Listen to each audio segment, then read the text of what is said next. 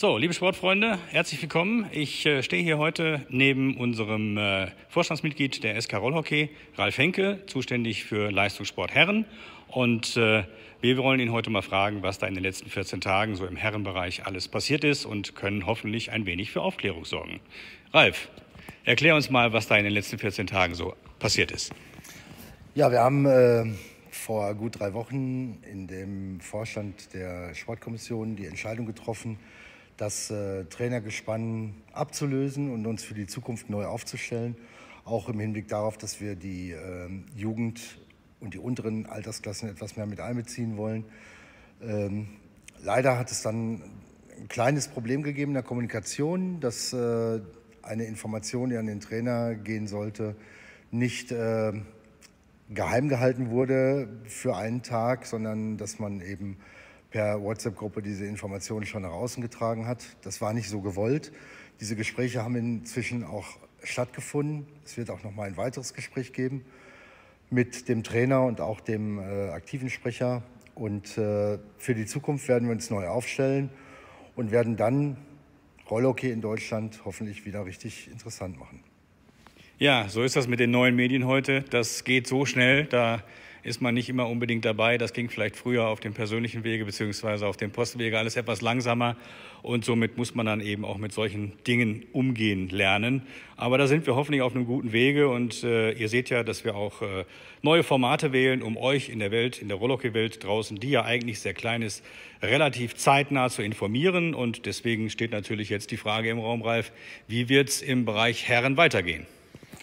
Ja, wir freuen uns erstmal, dass wir im Bereich Herren eine, so wie wir denken, gute Lösung gefunden haben. Der äh, Tobias Wahlen wird nach eigener Aussage seine Karriere beenden äh, nach der Saison und wird äh, aus dem Trainerstab der U20 dann aufrücken und die A-Nationalmannschaft übernehmen.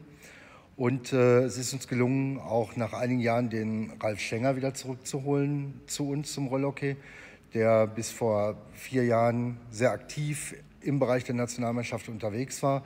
Zuletzt auch 2016 nochmal bei einer Europameisterschaft dabei war. Und äh, mit dem Ralf haben wir einen sehr kompetenten Trainer, der auch im Besitz sämtlicher Lizenzen ist, die es so gibt.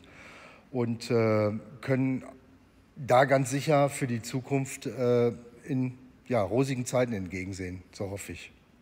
Ja, dann wünschen wir den beiden noch alles Gute und hoffen mal, dass wir die heute auch noch vor die Kamera kriegen, damit ihr draußen in der Rollhockey-Welt Deutschland das ganz schnell von den beiden auch persönlich erfahren könnt. Ralf, herzlichen Dank und äh, noch einen schönen Spieltag heute. Danke.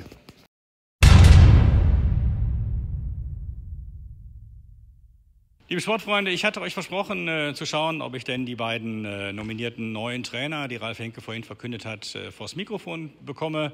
Und das ist mir gelungen und ich äh, bin ganz äh, gespannt, was die beiden uns zu sagen haben. Ich darf vorstellen, der neue Nationaltrainer der Herren A-Kategorie einmal Tobias Wahlen und Ralf Stenger.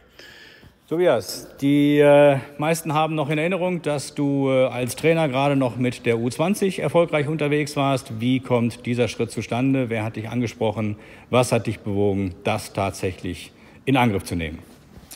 Ja gut, nach der äh, Europameisterschaft äh, in Portugal, die wir äh, meiner Meinung nach sehr gut abgeschlossen haben mit dem jungen Team der U20, ähm, war mir eigentlich klar, dass ich ähm, die Arbeit beende im, im, im, im Verband und äh, die neue U19, die ja aufgrund der Altersumstellung von U20 auf U19 äh, gemacht wurde, nicht weiter äh, betreue, ähm, da es einfach ein Team von, von, äh, von Alexio ist und auch äh, ich äh, ja, mir ein bisschen mehr Ruhe gönnen wollen würde.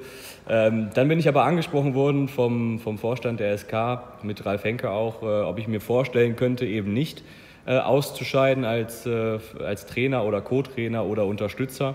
Und ähm, ich habe mich äh, dann ein bisschen beraten lassen und äh, habe dann, dann doch zugestimmt, dass ich bereit bin, ja, zu helfen, wenn es was zu helfen gibt.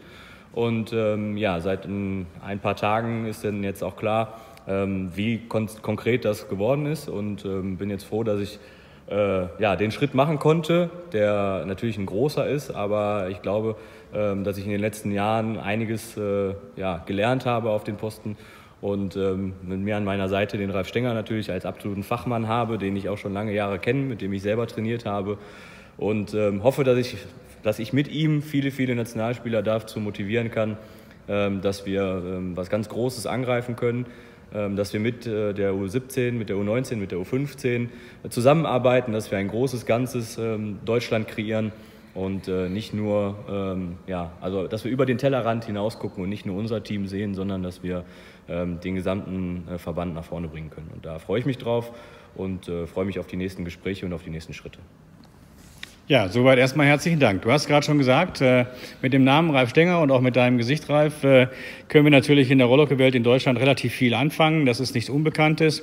Aber wie ich jetzt erfahren habe, äh, bist du ja auch hauptberuflich durchaus in einer artverwandten Sportart unterwegs. Vielleicht kannst du dazu mal ganz kurz was erzählen. Und dann natürlich auch, warum du dir das zu deinem Beruf auch noch als Ehrenamtler mit dem deutschen Rollhockey antust. Ja, also wie gesagt, ich bin äh, seit vier Jahren jetzt äh, hauptberuflicher Trainer im Eishockey. Das macht mir auch unglaublich viel Spaß. Wir haben da auch ähm, ähnliche Strukturen, die wir natürlich da auch betreuen, von U7 angefangen bis zum Seniorenbereich. Ähm, ich werde das auch weiterhin machen, bin aktuell in Hannover bei den Hannover Indians, äh, bei den Young Indians als hauptamtlicher Trainer tätig bleibe das auch. Das hier ist ja ein Ehrenamt, was wirklich, äh, ja, was mich auch ehrt. Äh, als ich davon erfahren habe, es ging jetzt alles sehr, sehr schnell.